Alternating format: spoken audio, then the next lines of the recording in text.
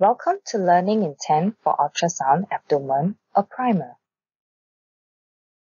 At the end of this video, you will be able to understand how ultrasound images are formed, list the indications for an abdominal ultrasound, recognize normal versus abnormal sonographic appearances, and list the pros and cons of ultrasound. When electric signals pass through an ultrasound probe, piezoelectric crystals within the probe vibrate, producing high-frequency sound waves which travel through the skin and into the internal organs. The tissue's varying properties, characteristics, and densities reflect the transmitting waves as returning echoes to the piezoelectric crystals. The echoes are represented as points of variable brightness in shades of gray, forming the ultrasound image on the right. Abdominal ultrasound imaging protocols may vary among institutions. An abdominal scan generally evaluates the liver, gallbladder, kidneys, spleen, and pancreas.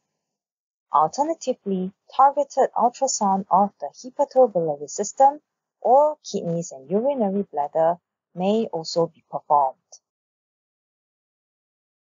Doppler ultrasound assesses the vasculature of abdominal organs such as the portal venous flow, arterial and venous flow in the liver, the arterial and venous flow in the kidneys, and major vessels like the aorta and inferior vena cava, allowing one to diagnose vascular disorders such as stenosis, thrombosis, or aneurysm. This slide shows examples of acute and chronic indications for abdominal ultrasound.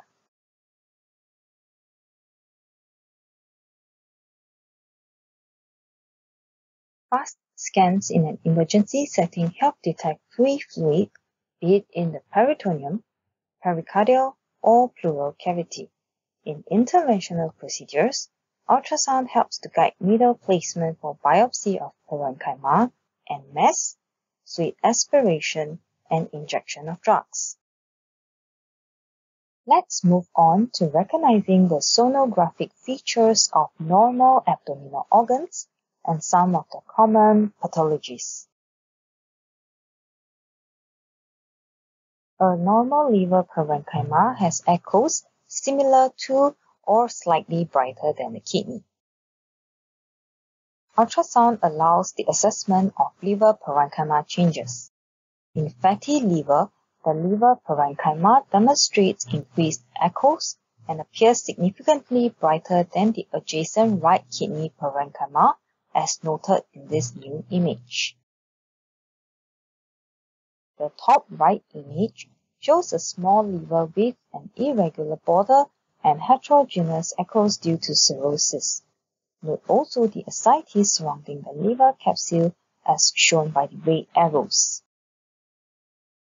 Now, look at the bottom left image.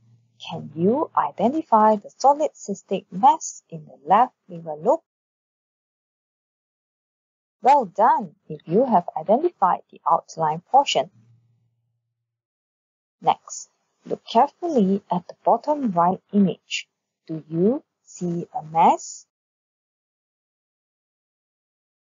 Notice there is inconsistency in the liver echoes. It is not homogeneous throughout. If you identified the mass that has been outlined, you were right.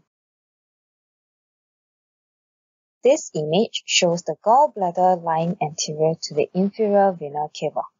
Normal fluid-containing organs, such as the gallbladder and inferior vena cava, appears anechoic or black and may be difficult to tell them apart. Turning on the color Doppler can help to distinguish IVC from gallbladder as represented by this new image. Looking at the bottom left image, presence of edematous thickening at the anterior wall in green echogenic sludge in orange, and stone, the arrow, is a presentation of cholecystitis. The patient will present with tenderness when the probe is applied to the diseased gallbladder. Looking at this middle image, can you identify bright echogenic stones located in the dependent portion of the gallbladder?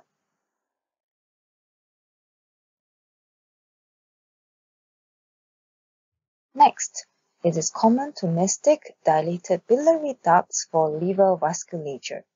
Hence, turning on the color Doppler can help to tell them apart. A normal kidney has bright hyperechoic central sinus and dark hypoechoic parenchyma. A mass can be cystic or solid.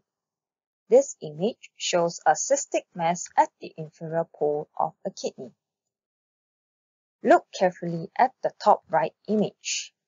Do you see that there is a solid mass of similar echogenicity as the adjacent normal renal parenchyma in the interpolar region? This mass causes indentation of the bright renal sinus. At the bottom left image, a stone, shown by the red arrow, is identified by a bright or echogenic surface and a dark or hypoechoic shadow beneath it, causing hydronephrosis at the superior and interpolar region. The last image shows a significant hydronephrosis involving the proximal ureter. Real-time evaluation can help demonstrate the presence of stone at the distal ureter. This image shows how a normal spleen appears in ultrasound which measures less than 12 centimeters.